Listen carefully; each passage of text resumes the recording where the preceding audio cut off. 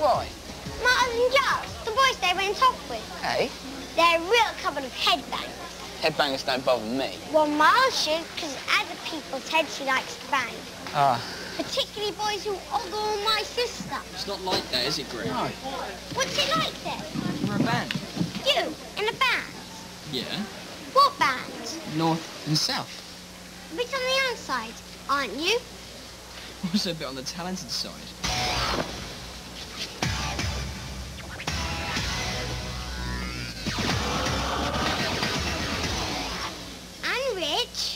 Loaded. If we want to sign your sister and a mate up as vocalists. I can tell you where to find them. Yeah? I said I could. It'll cost you what? a fiver. You don't think information like this comes cheap, do you? And you did say you were loaded. Hi. Uh, mine's a strawberry. Me too. Yeah. Three strawberry milkshakes. Come on, we owe him one. Let's give him a good thumping. Nah. Nah? Nah, first off, we're scare and witless. Yeah. Anyway, we made him one for laughing at us the other day. We owe him about 20 for that. Yeah. Eh? See what she is? She's about seven and a half. She's St. Ethelburgers. Oh, yeah. And you know the rule? Yeah. What rule? Remy Plumpton. Information is my business. Greg, What? Pay the nice lady. Me? Yes, you. You know I never carry cash on me. Some desperate people out there.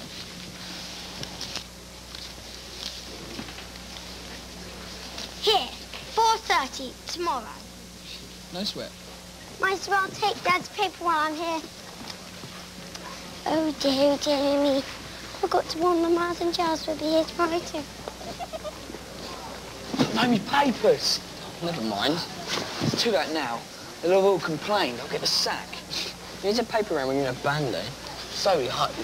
no sweat. I mean, what could possibly go wrong now? Being new, you probably don't know the rules. What rules? Peabody boys do not snog St. Ethelburger girls. Yeah. I mean, no. Tomorrow, 4.30, we know all about it. Yeah. And Fuggle, a word with you too. Darren Jenkins. That's two words. You've been warned.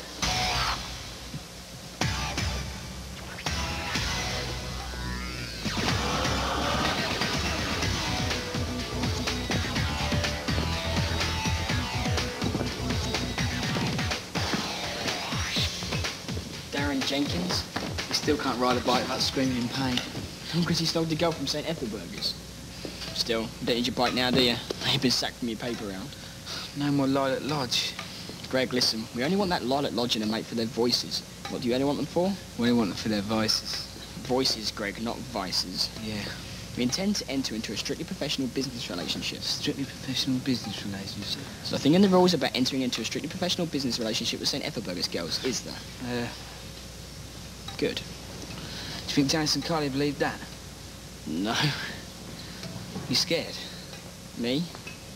Me neither. Of course I'm scared. You hear me? We're dead. No. We need those girls. What do you mean? What? What are you gonna do? Got an idea. Yeah? Yeah. No sweat. having guitar in a dance mix song would sound completely stupid.